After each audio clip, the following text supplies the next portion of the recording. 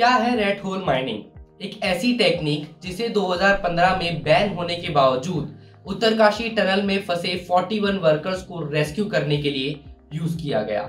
एक ऐसी टेक्निक जिसकी मदद से उत्तरकाशी टनल के लास्ट 12 मीटर्स को टेक करके ब्रेक थ्रू अचीव किया गया और 17 दिन से अंदर फंसे हुए 41 वर्कर्स को रेस्क्यू किया गया।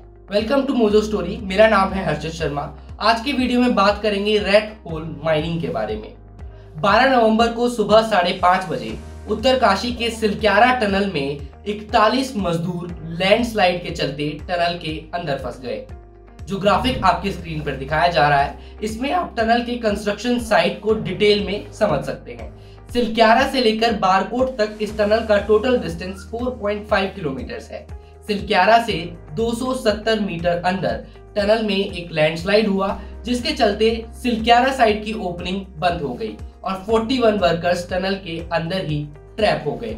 उसके बाद शुरू हुआ भारत का सबसे बड़ा रेस्क्यू मिशन इन 41 वर्कर्स को बाहर निकालने का मिशन इस रेस्क्यू मिशन के अंदर NDRF, ITBP, SDRF, Uttarakhand police DRDO समेत बहुत सी एजेंसीज एक साथ आई। सबने मिलकर अम्ब्रेला फॉर्म में काम किया और वर्कर्स को बाहर निकालने की हर पॉसिबल कोशिश की। टनल के ओपनिंग पर फंसे पत्थरों को काटने के लिए ऑगर मशीन का इस्तेमाल किया गया। लेकिन 23 नवंबर को ये ऑगर मशीन भी फेल हो गई। इसके बाद लास्ट 12 मीटर के डिस्टेंस को डिग करने के लिए रेड होल माइनिंग टेक्निक का इस्तेमाल किया गया। रेड होल माइनिंग एक ऐसी टेक्निक है जिसका इस्तेमाल प्राइमरली मेघालय में कोल माइनिंग के लिए किया जाता है। रेड होल वर्ड का इस्तेमाल यहाँ पर जो नैरो डिगिंग की जाती है कोल निकालने के लिए माइन से उसके लिए किया गया है। 23 नवंबर को जब ऑगर मशीन में फेलियर हुआ तो एडमिनिस्ट्रेशन ने यह तय किया कि रेड होल माइनिंग का सहारा लिया जाएगा और लास्ट के कुछ डिस्टेंस को डिग किया जाएगा।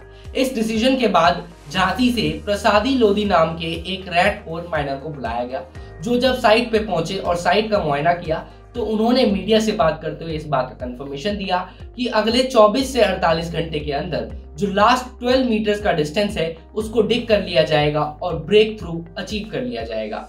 प्रसादी लोधी का कहना था कि उनके वर्कर्स ने 800 मीटर की बजाय 600 मीटर के होल में भी रेड होल माइनिंग की है। तो यहाँ पर उनको रेड होल माइनिंग करने में दिक्कत नहीं आएगी। और ऐसा ही हुआ, अगले कुछ घंटों के अंदर जो लास्ट डिस्टेंस था, उसको ब्रेक थ्रू अचीव कर लिया गया। और कल रात को सभी वर्कर्स को इस टनल से बाहर निकाल लिया गया। साल 2015 में नेशनल ग्रीन ट्रिब्यूनल ने इस रेड होल माइनिंग की टेक्निक को इलीगल साबित किया था और बैन कर दिया था।